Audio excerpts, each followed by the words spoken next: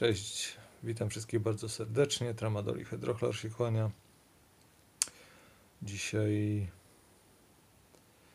podsumowanie mojego nawożenia. A więc ostatnio ostro nawoziłem. Jak to bywa z tym nawożeniem na oko, trochę przesadziłem.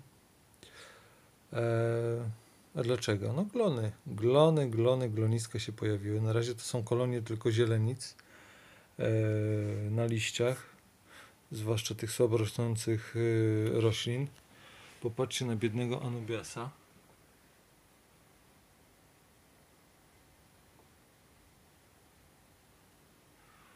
No, wygląda okropnie, prawda?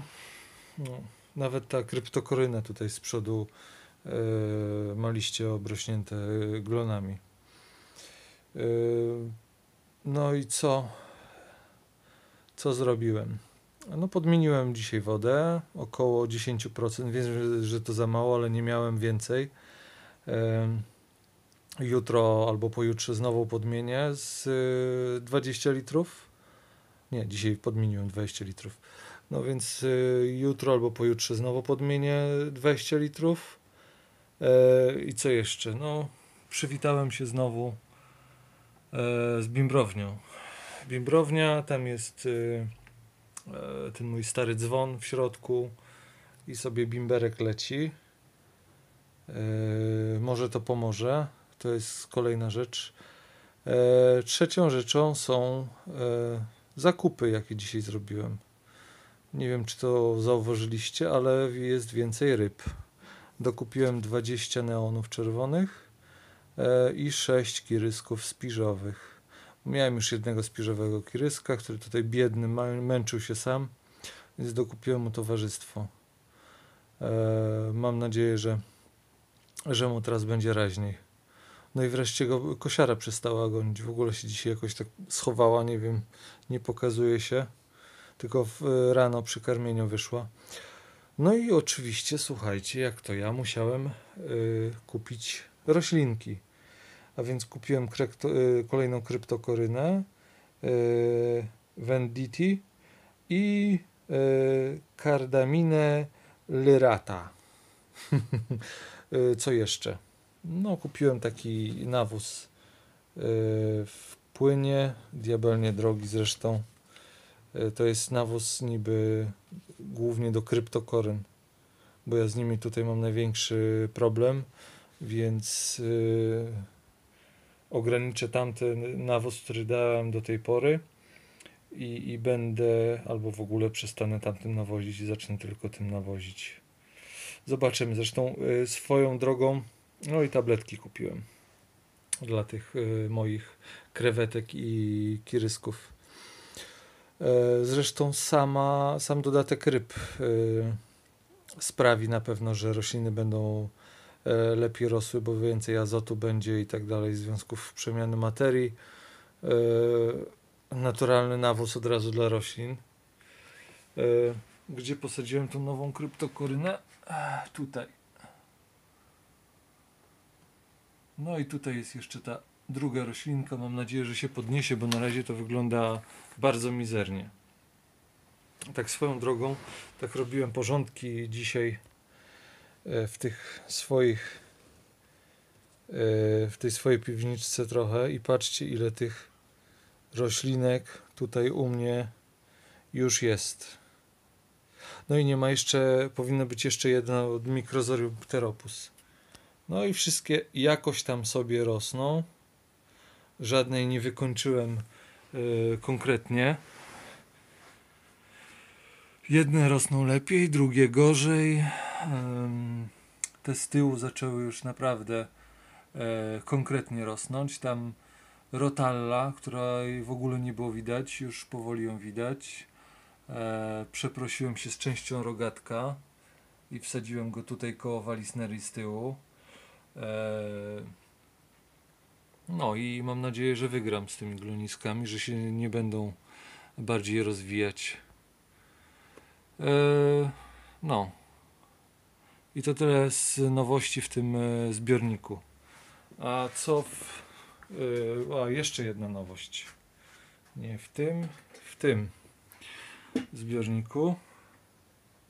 dalej nie mam kiedy się tutaj wziąć za e, porządki. No dawaj, złap ostrość. Aj, no.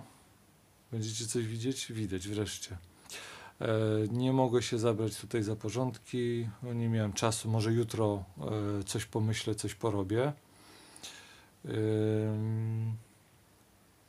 Gubiki mi się urodziły. Wiem, wiem, nie przepadam za nimi, a właśnie przede wszystkim dlatego, że się tak rozmnażają, że w przeciągu pół roku, roku czasu to tego ma się pełno i nie wiadomo, co z tym później robić. E, nie wiem, czy zobaczycie te małe gubiki. Ja o ten zbiornik prawie w ogóle nie dbam, ale chyba muszę zacząć dbać. Patrzcie sobie, roślinki tutaj bomblują. Nic nie daję, nic nie nawożę, nic nie robię. Kompletnie w tym zbiorniku dolewam tylko wodę jak paruje i to też w miarę rzadko widać zresztą jaki jest poziom wody. Tu jest stare moje podłoże Aqua Substrate 2 które ma już prawie rok czasu, około 8 miesięcy. E, No i co? I jest multum krewetek, są cztery dorosłe gubiki, dwa samce, dwie samice i jest, jest sporo młodych. Nie wiem ile nie liczyłem. No. E, Filterek widać jaki, e, najsłabszy z możliwych. Woda czysta, może nie kryształowo, ale, ale czysta jak na taki filtr, to naprawdę uważam, że niezły. Popatrzcie na rotallę. Też bombluje. Tu nie ma CO2, yy, tu nic nie ma, naprawdę, żadnych nawozów ani niczego, jest tylko 11 W, e, lampa 11W LEDowa i tyle. Kompletnie nic więcej. No. I zaczyna mi się ten zbiornik podobać, powiem wam szczerze. No, no, muszę coś, nie wiem, wymyślić jakiś, jakiś korzeń czy coś, jakąś tą kompozycję w miarę tutaj coś, co, coś porobić, żeby to jakoś to wyglądało, ale no, jeśli ma tak mi dalej to rosnąć i, e, i jeszcze bomblować, no, patrzcie jakie kolory piękne, czerwone. I tutaj nic nie nawożę i, i sobie żyje i rośnie.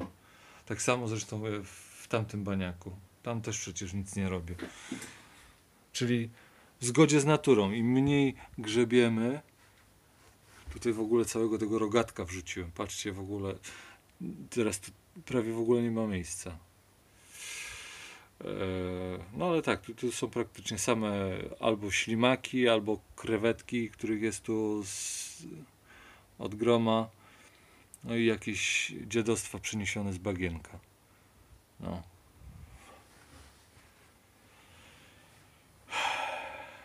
No, tak to wygląda.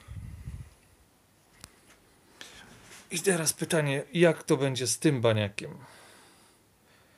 Yy, czy przez te podmiany wody i dodatek CO2 i zmniejszenie nawożenia wygram z glonami? Myślę, że wygram, mam nadzieję.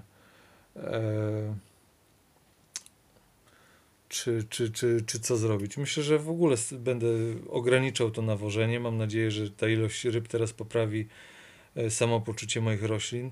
Bardzo bym chciał, żeby ta y, kryptokoryna, ta, y, to mikrozorium, przepraszam, e, pteros, y, pteropus y, ładnie rosło. No, na razie wygląda kiepsko, e, a mi się bardzo podobał ten burz z tej strony.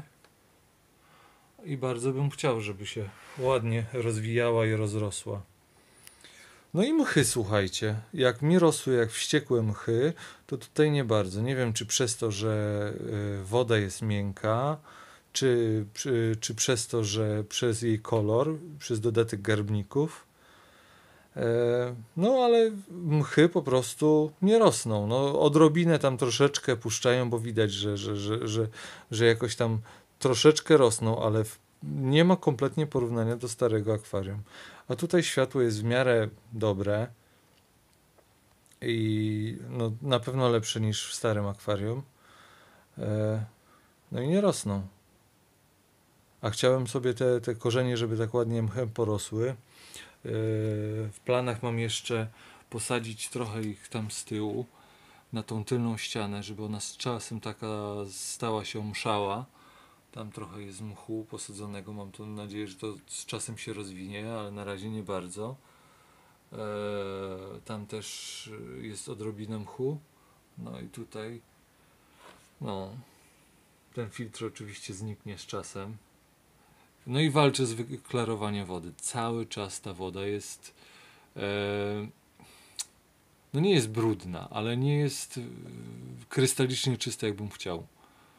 E, dałem do jednego filtra, wymieniłem wkłady, zmieniłem filtr, e, wkłady na, na taką watę. I no odrobinę jest y, bardziej czysta woda. No, widać, że jest trochę czystsza, ale dalej to jest jeszcze niesatysfakcjonujące. No w tym moim małym baniaku jest czystsza woda niż tutaj, więc co mogę powiedzieć, to aqua substrate jednak tą wodę klaruje i nie powoduje zmętnień, e, a ziemia ogrodowa, przynajmniej w moim przypadku, nie wiem czy za mało jej przykryłem, czy, czy, czy za mało roślin w niej posadziłem, czy co jest przyczyną. E, W każdym razie woda jest według mnie brudna. No, nie tak jak w starym akwarium. Oj, patrzcie jak się kiryski trzymają. No, widać od razu, że to ryby stadne. Teraz by się przydała dla nich plaża, żeby sobie mogły pokopać. No dobra. Trzymajcie się, pozdrawiam wszystkich. Na razie.